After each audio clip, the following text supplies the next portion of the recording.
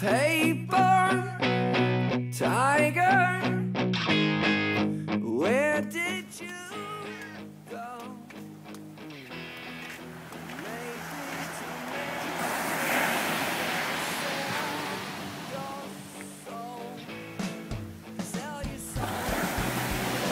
Sunday morning, uh, August 28th, no surf left here down in Melbourne.